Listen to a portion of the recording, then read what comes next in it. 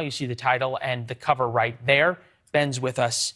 Ben, appreciate it. Uh, out of all of your reporting, uh, is there a smoking gun? No.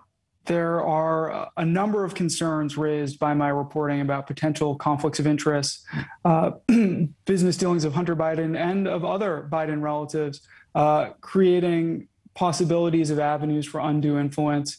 Uh, this is a pattern that really dates back to Joe Biden's first term in the Senate uh, and some controversy over some bank loans that his brother got back then uh, continues down uh, to even this summer with Hunter Biden's foray into painting. And so uh, this has been a theme uh, of Biden's public career really from the start. and, and, it's and documented. By, and by theme, you mean that he, enriching himself sort of this, this these sort of soft bribes, if you will, or favorable treatment because of, of his office?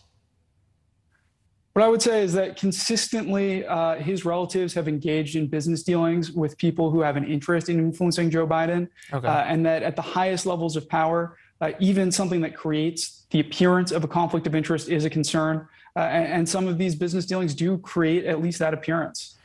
So, so this is very different than the working man Joe from Scranton image that the president, previously vice president, previously Senator Biden portrayed on the stump.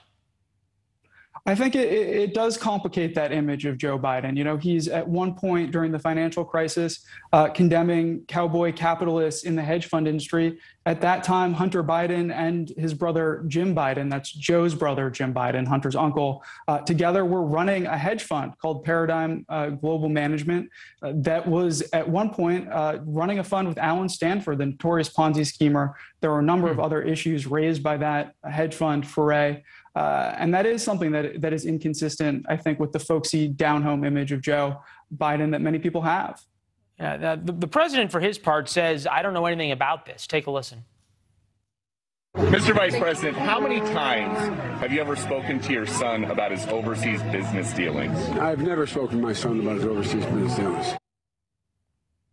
Does your reporting support that statement? Well, Joe Biden has made a number of statements to that effect on the campaign trail. At one point, he told my colleague Marc Caputo that he's never discussed his relatives' business dealings with anybody whatsoever.